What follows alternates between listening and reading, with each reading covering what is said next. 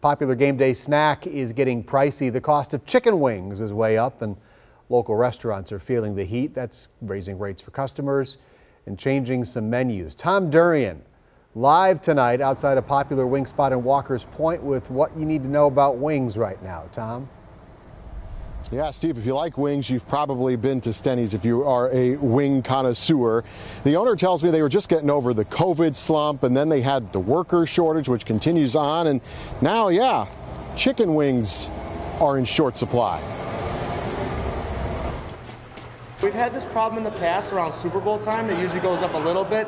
It's never hit this price before. Whether you're serving them up from the deep fryer you know, I've been doing this 25 plus years and I have never in my life seen wings doing what they're doing. Or selling them raw, chicken wings are hard to come by right now. I've been raising my wing prices every week for the last five weeks. Because they are in demand and hard to get, Tower Poultry says the price of wings went up 14 cents a pound last week, and they anticipate another hike this week. They're changing so often, they just leave the board blank. I mean, people come in to look up there at you know, and they'll say, oh, wings, uh, where wings? you say I just got tired of climbing up there to change? Yes, yes. My arm was getting tired.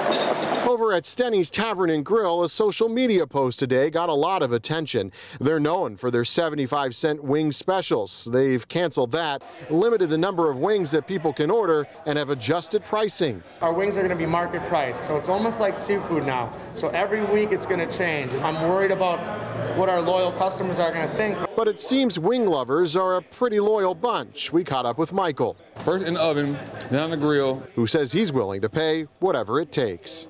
I'm buying them anyway. They're good, they're great.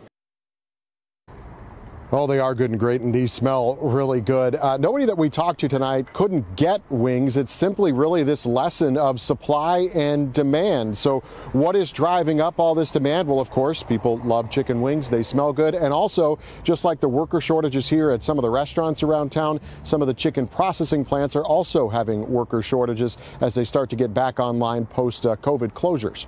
Reporting live here in Walker's Point, Tom Durian, TMJ4 News. It's time for time to stop smelling those swings and have a little snack, I think. Taking a closer look now at food costs overall. Meat prices went up the most in 2020. Beef and veal 10%, pork 6%, poultry 6%. Only fresh fruit went down in price by 0.8%.